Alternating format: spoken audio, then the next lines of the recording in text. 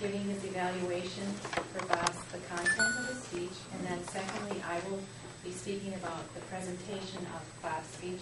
And then lastly, Keith is going to be doing how well he handled the question and answer portion of the speech. So we will begin with Tim. Thank you, Jane, fellow Toastmasters, especially Bob. Thank you for this, this speech. What I'm going to look at today is just basically the content. Was it appropriate? Was it logical? Was it clearly stated?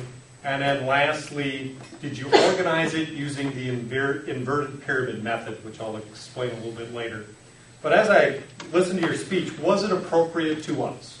And you started the speech by saying, you know, 1 in 17 will suffer from major mental illness and one in four will be affected.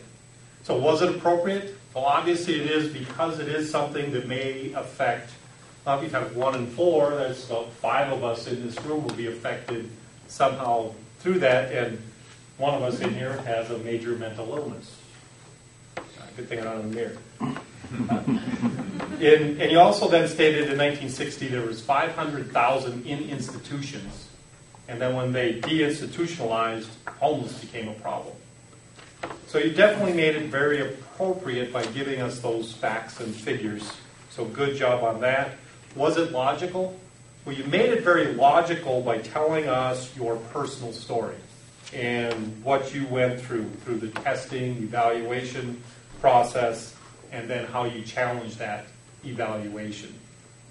And then also, did it become clear and as I listened to that story, the opportunities that are involved in this whole evaluation definitely became clear as I thought about what you had to go through and your findings that what they told you were not really accurate. And also, even worse, not more than accurate, but at times it seems that you know it's very subjective and a lot of collusion can be involved. The one part I really wanted to talk to you about and look at was that organization by an inverted pyramid. And I was wondering, you know, what really is an inverted pyramid and how does that apply? And the great thing about Toastmasters is it gives us manuals that we're trying to follow. And a lot of times they get us out of our comfort zone, ask us to do something a little bit different. And the inverted pyramid is a journalistic tool where you will take and basically state the facts and get the essential things out there right away. In other words, a, for a journalistic standpoint, then your editor can just cut everything else if they want to. Therefore, you want to get your point clearly stated. To tell a story and then use that story in the end to really drive home your point. In this challenge, you were to really get the point out and then back it up with your story. So some of the things I thought you could do to help with that is right in the beginning you talked about evalu- challenging the evaluations process and maybe to clearly state why you need to challenge it. And just you don't have to delve into what you went through yet. Just uh, you need to challenge it because it can be subjective, there can be collusion, and it can be inaccurate. And then also you could have followed that up then. You talked about sensitive issues, but never really built upon that at all. And you said there was not professional words used. And I left, was left with like what? So you could fill all that in right away. So it would have grabbed us all saying, okay, there's a problem here. And then tell us your story to back all of that up. In all, it was a, a good speech. I really enjoyed it. You had all the parts of, that I wanted but from uh, the organization standpoint, if you'd have just flipped it around a little bit, you would have covered that manual objective a little bit better. But all in all, very good. Thank you. So I'm going to do the presentation of your speech. First, I'm going to talk about the visual aids. At the beginning, when you were talking and you were using gestures to, with your speech, and then I like how you use the gesture of the book and you put your hand out like it was a book. So I thought you did well with some of your hand gestures. And then the summary, I really liked your visual aids, how you brought out the bag and then you talked about Winston Churchill, Martin Luther, and Jillian, and Ben Franklin, and Lincoln, and I didn't know all that. So that's what I really liked about the visual aids that came out, and then we could, you explained, okay, this is about them and this and that.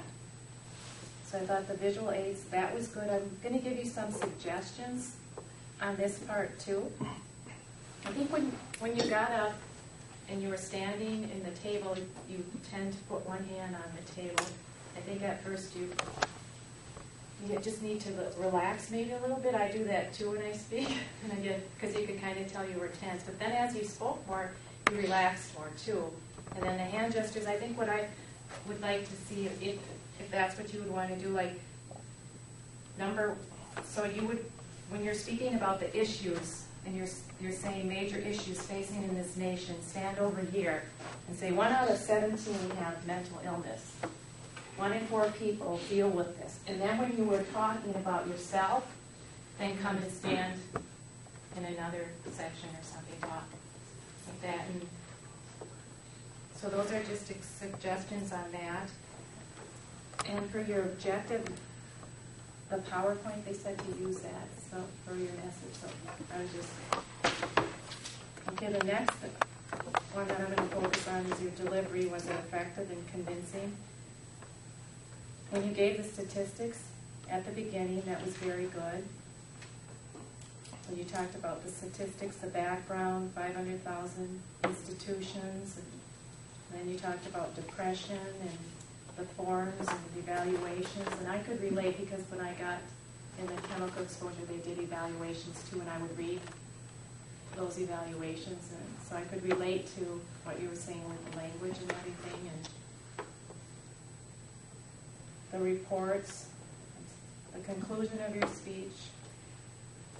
The delivery was very good, it reinforced your speech.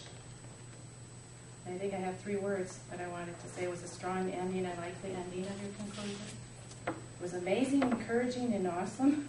and then I just wanted to point out about you said about laryngitis. I couldn't even really tell that you had it at all. So it's like you really did well with that. You know, adding laryngitis and then speaking to us. You couldn't tell you had it today. So I really enjoyed your speech. So thank you. Thank you, Jane. Ah, I was taking a look at how you handle the question and answer period today.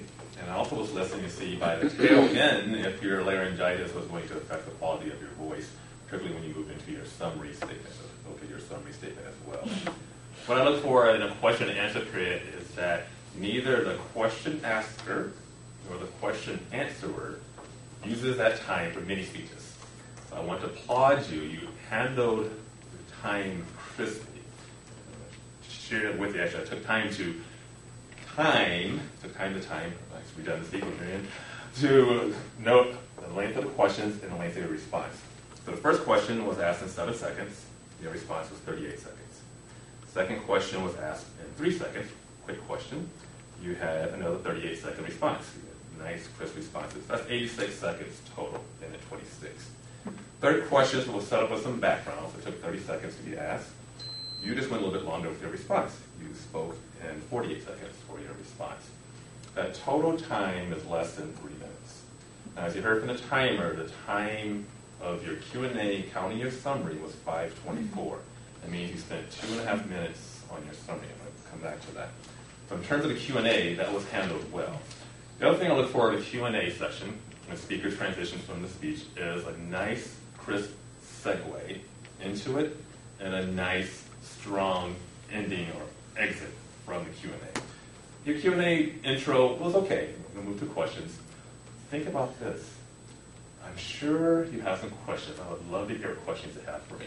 Turn it uh, as an opportunity to raise your voice and make the invitation even warmer. So we, we throw those questions out there. I'm going to bet there was more than three questions ready to be asked based on the content you had. You heard from the other two about the good content that you had. Again, you handled the question and answer period well. You obviously wanted to have a message, or had a message you wanted to share in your summary. I can't say there's a hard and fast rule. I'm going to tell you my preference. So my preference is the summary statement gets taken care of in a minute or less. Your opportunity as the speaker is to use that question and answer period for augmenting information that you shared or clarifying, adding some additional information or clarifying some points. So you did a great job with that. I think you cheated yourself and us by spending as much time you did on the summary. I would have loved to have heard at least one more question from the audience, let you use that for a teaching point. Like the, way you answered the third question, you brought in, oh, actually, it was from the Kennedy administration. That was a great teaching point. I think you had some other teaching points that way. The summary was good in terms of information. It was nice hearing about the five people. I think you could have maybe used two or three and then got to that strong last statement you had in your summary and keep that part to a minute. That's something to, to look forward to. But as you exit from the summary, look strongly at the Toastmaster and then shake hands and then reach down and pick up your books. But you had a fantastic overall handling of Q&A. and Thanks for that backwards. And now we're gonna take a minute for Bob to speak about his speech, if he'd like to say anything. Yeah, what I found with this speech was, it was really a challenge to deal with the conceptual part. I would have liked to have had something more solid so I could concentrate more on the delivery points. I also got, missed one point, because in the early eighties, there was eighteen dollars per person per year in research. And that compared to cancer at three hundred dollars, or compared to mu- muscular dystrophy at nine hundred dollars. It was just incredible. And just our knowledge base in twenty-five years has gone up so much. The image behind, but the knowledge is so much better, but the implementation is hard. And I would have liked to have just closed it, let's cut the nonsense, give these people a fair chance, and, you know, move on with things. Okay, so- now we're gonna ask the audience if you have any comments.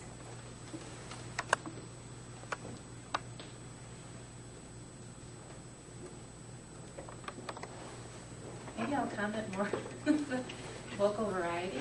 So it probably was maybe a little bit hard for you to speak, but I know it, so it helped me is working with kids, and you get, I think of the kids and how excited they get, so I, vocal variety, I think what you could do is, when you're doing your points, and like at the beginning, you were giving the statistics, and just think of getting excited when you were a kid, and, and then your voice, and, and then with movement, your, you know, just with the vocal variety, work on that a little bit more, like Kika mentioned. and-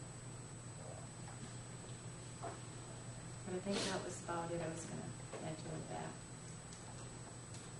So for, okay. Any other one? People have comments or? Okay, so that was two minutes. Yeah, I'd just like, like to Wait, say, Jess. I, I love top-level psychology, we just take the cream off of the top. I think there's a lot of trashy stuff that I avoid. Thank you.